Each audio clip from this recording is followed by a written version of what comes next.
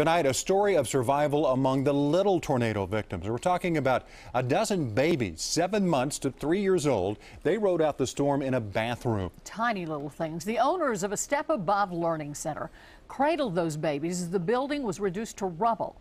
Tonight, we're learning more about the heroes, including the EMSA team, who loaded them all into an ambulance and raced them to the ER. Here's Lance West.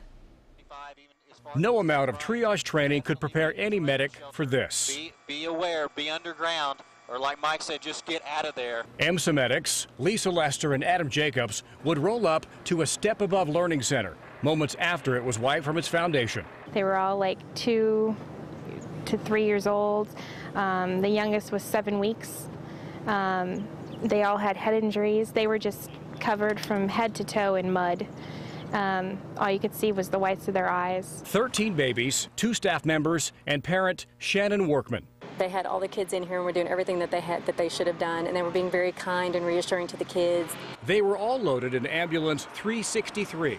No obstacle too large to stop them from reaching the hospital. Actually, we uh, we thought we got a flat at first, um, but there was a telephone pole that got lodged between the cab of the truck and the box in the back. So we had to get out and kick it out and go back en route. Thank God our tire didn't blow, because then we would have been stranded and we wouldn't have had a way to get out.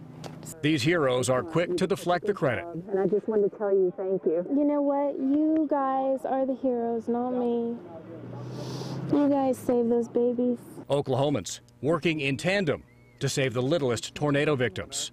In Moore, Lance West, News Channel 4.